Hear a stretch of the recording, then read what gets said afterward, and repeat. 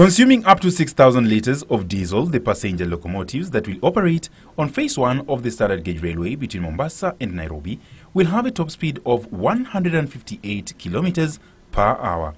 This is expected to reduce the duration taken by passengers to four and a half hours, down from the current eight hours it takes by road.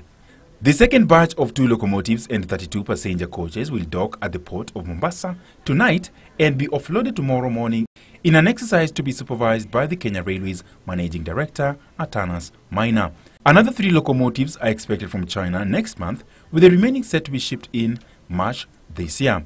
GR, you can be assured that as the containers come to this country, the SGR from the machining yard, they'll be quickly offloaded into the train and into Nairobi, Naivasha, eventually Kisumu, Malaba, eventually Kampala. And according to the Kenya Railways, the ultra-modern trains will have an overall length of 220 meters, with economy class handling 118 passengers in each of the coaches and 32 in the first class coach. Depending on passenger demand, KRC plans to operate four trains daily within the first four years with a target of ferrying 1 million passengers annually on the standard gauge railway between July this year and the year 2021. This coming to the port of Mombasa with a cruise ship.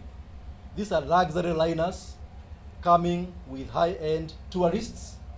Now from Mombasa, they can take four hours to Nairobi with SGR. Kenya Railways is banking on the modern features such as Wi-Fi, food service areas and a modern crafted interior to attract more customers to the railway service.